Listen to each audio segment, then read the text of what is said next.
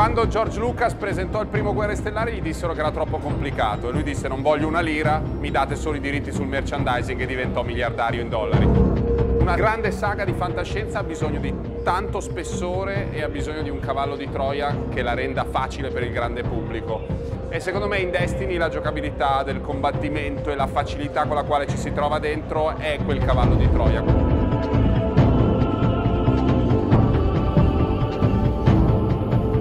Ho apprezzato soprattutto il sistema di personalizzazione del personaggio, dalle armi al costume, eccetera. Eh, le armi mi sono sembrate molto buone, divertenti da usare, dai fucili di assalto allo shotgun. Eh, il design delle mappe e, del e dei livelli sono molto curati, molto ben fatti. La grafica è eccezionale, le texture sono molto dettagliate, gli ambienti sono spettacolari. Mi sono piaciute molto le meccaniche, soprattutto le meccaniche di movimento, del salto e anche del mirare, che rispetto ad Halo era una cosa che mancava.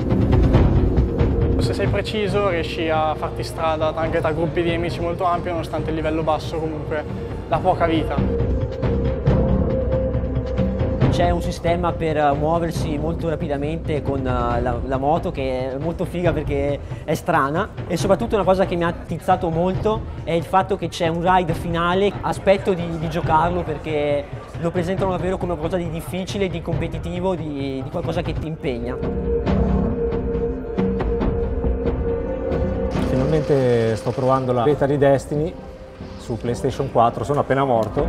Io lo consiglierei perché per avere uno sparatutto con la possibilità di, di avere i drop, eh, poter far crescere il personaggio, poter incontrare altri giocatori in cooperativa e poi poterli sfidare nel multiplayer, insomma, diciamo che è uno sparatutto completo.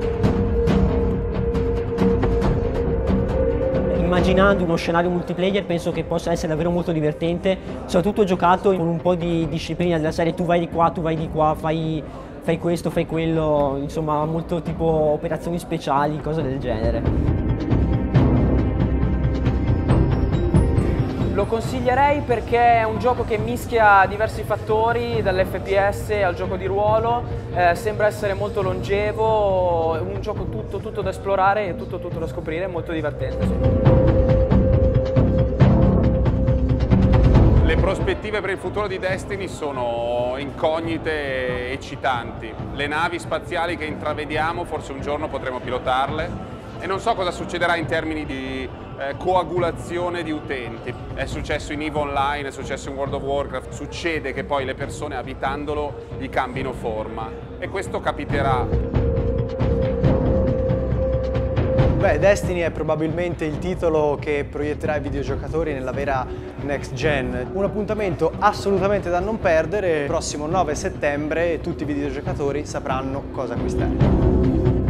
È sostanzialmente obbligatorio Destiny, sì, non lo consiglio, lo, è, lo impongo, non so se vi piacciono i videogiochi non potete fare a meno.